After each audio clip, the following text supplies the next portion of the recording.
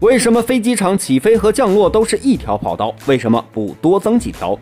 许多乘坐过飞机的人或许都会发现一个现象：大多数飞机起飞和降落都会在同一条跑道上，为何不再多建一个跑道？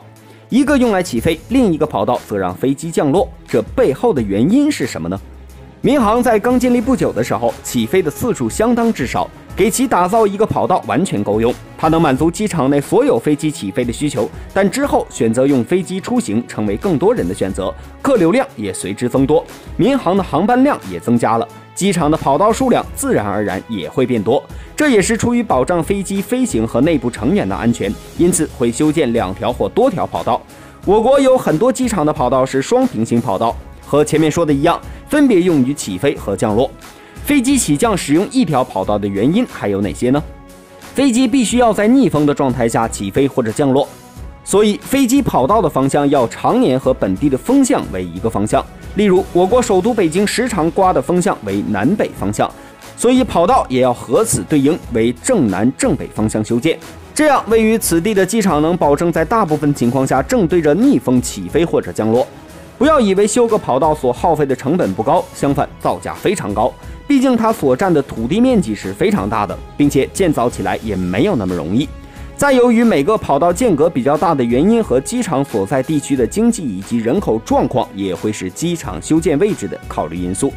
通常是由机场每年旅客吞吐量和飞机跑道长度进行分类。对于土地资源缺乏、不处于一线城市、人口数量也不是很多时，所修建的机场规模都属于中型机场，跑道也不会考虑建造那么多。一两条就够飞机使用，只要能确保三百座级或以下的客机起飞或降落就完全 OK。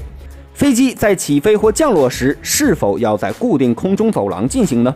这是必然的，而且还不可以任意变动，必须在空中走廊进行，而且每架飞机需要在已经提前规定好的路线中飞行。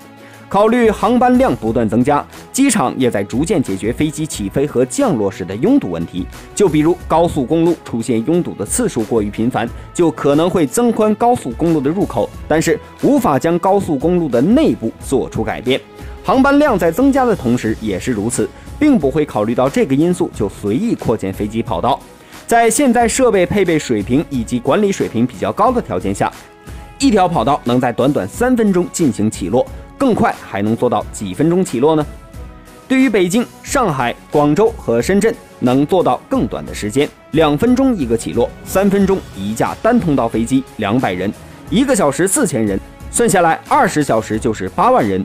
通常一条跑道每年进出港可达到三千万人次，浦东国际机场更是惊人，四条跑道可达到九千万人次。跑道的修建成本在整个建设成本中占比例一半左右，所以城市机场会综合考虑城市各方面发展状况，同时可以降低其成本的情况下，选择修建一条跑道。你认为还有什么原因导致飞机起落只使用一条跑道呢？